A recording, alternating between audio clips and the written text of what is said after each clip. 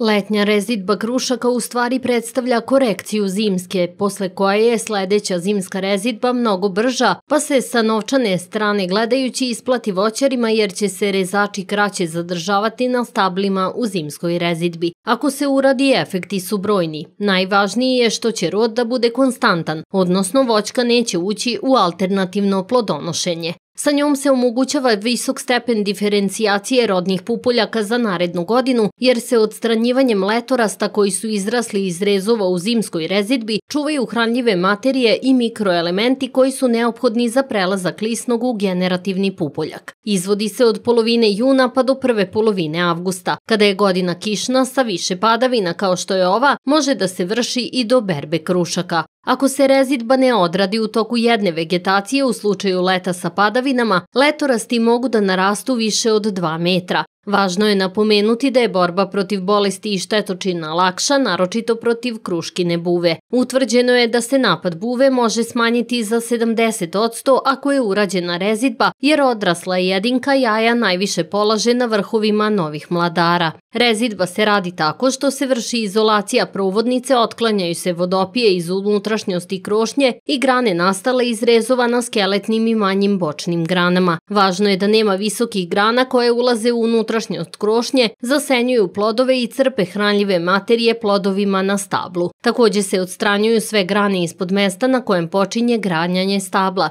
Mladi letorasti mogu da se kidaju na 2 do 3 pupoljka od osnovne grane kako bi se podstaklo brže formiranje rodnog pupoljka za narednu godinu. Ako je pupoljak već u junu mesecu krupan, to je prilično siguran pokazatelj da će se u narednoj godini u njemu formirati plodovi, naravno pod uslovom da se obave tretmani azotom, fosforom i kalijumom pre kraja vegetacije. U slučajevima vlažnijih leta stabla divljaju zbog viška vode, naročito ako su na podlozi divlje kruške. Zato se letnjom rezidbom prekida njihov rast, odnosno smanjuje bujnost. Važno je da nakon rezidbe stabla budu sa otvorenom krošnjom, prozračna, bez bujnih letorasta, odnosno vodopija koje crpe snagu. Samo ako se uradi letnja rezidba, bujnost se može kontrolisati. Osim toga, plodovi koji su u krošnji biće kvalitetniji i krupniji jer će im ostati više hranljivih materija za rast, a što je najvažnije, omogućava se rod za narednu godinu.